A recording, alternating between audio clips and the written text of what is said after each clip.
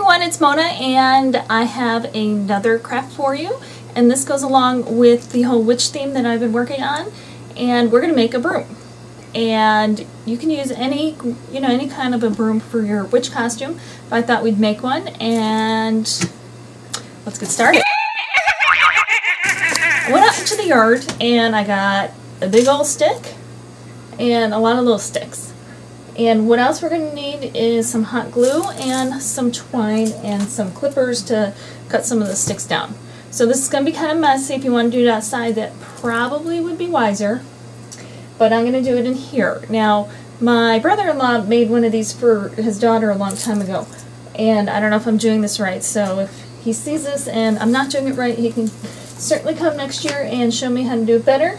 And this is obviously more of a decorative broom. I'm not planning any transatlantic flights with it or anything. I'm just going to be local. So this should work out fine. So what I'm going to do is kind of separate a little bit. I'm going to take oops, my big sticks and kind of put them down off to the side. I'll keep some of them over here. And my hot glue is hot and raring to go. So you're going to need to decide which you want to be your end that you're going to put stuff on and which isn't. So this is my end that I'm going to keep clean, and this is the other end. Now the other thing you're going to need to do is decide how long you want your your broomsticks to be, or the bristles to be, and you can trim them up later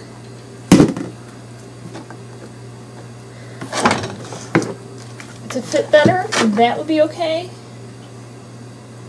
And then you're just going to start, you know, kind of filling it in with sticks and hot gluing it into place. So keep moving around, filling in here and there.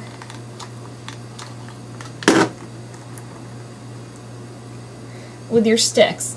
And I'm going to keep doing that until I get my first row around it, and then I will come back. Okay, I have finished the first layer, and this is what it's looking like so far. And what I'm going to do, just to give it a little bit of additional strength, because even though I'm just flying it locally, I still want it to last a while. I have some twine, and I'm going to take the twine, and the first thing I'm going to do is tie it in a knot nice and tight around the twigs. So hopefully this will help keep it all in place. And then I'm going to turn it around here a little bit.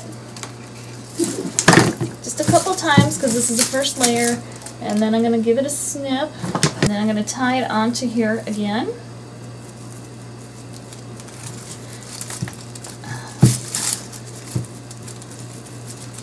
Nice and tight.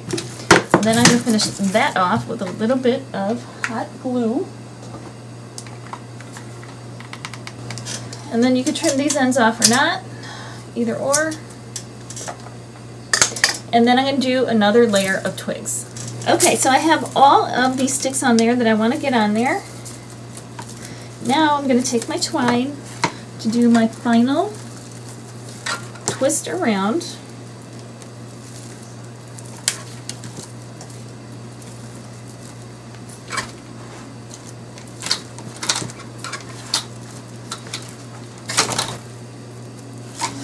Alright, then when you get it all twisted on, then you want to take the two ends, tie as tight as you can, knot it, whatever you need to do, snip off the ends, and again I like to throw a little extra hot glue underneath there. Just to keep it together so the knot doesn't untie and the nice thing about this with the hot glue, if you get all those little spider webs, it doesn't make any difference. Looks like they're supposed to be there. So here is our witch broom. Hope you like it. I hope you give it a try. Remember to stay tuned so I can put all of this together um, in a nice witch costume for you with a bunch of homemade, handmade items that go along with it. And we will see you next time. Happy crafting, happy Halloween.